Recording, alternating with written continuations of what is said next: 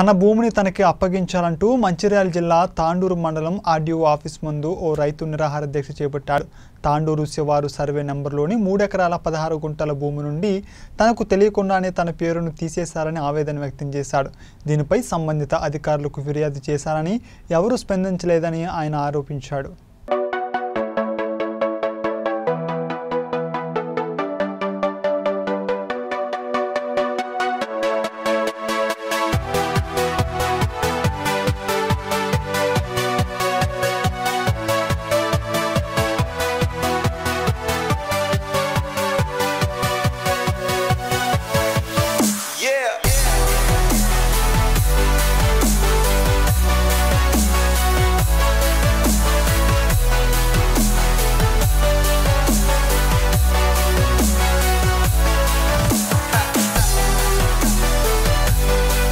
మిత్రులకు నమస్కారం. నా పేరు తోటం రాజేంద్ర ప్రసాద్.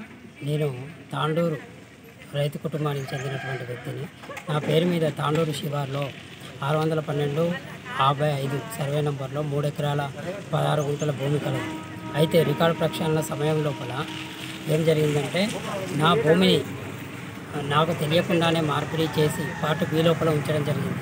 తర్వాత నేను MRO office sub collector collector ఆఫీసుల చుట్టూ తిరుగుతూ నేను ఎన్నోసార్లు లిఖితపూర్వకమైనటువంటి వినతి పత్రాలు ఇచ్చి దాన్ని మళ్ళీ ఆన్లైన్లో పార్ట్ ఏలోకి తెచ్చుకున్న తర్వాత కూడా మళ్ళీ ఎంఆర్ఓ కవిత గారు ఏం చేశారంటే ఈ రికార్డును అనధికారికంగా మళ్ళీ పార్ట్ బిలోకి పంపించేసి నాకు రైతు బంధు రాకుండా బ్యాంకు లోన్లు రెన్యువల్ చేసుకోకుండా పట్టా పాస్ పుస్తకాలు ఆన్లైన్ కాకుండా నన్ను ఇబ్బందుల పాలు చేయడం జరిగింది.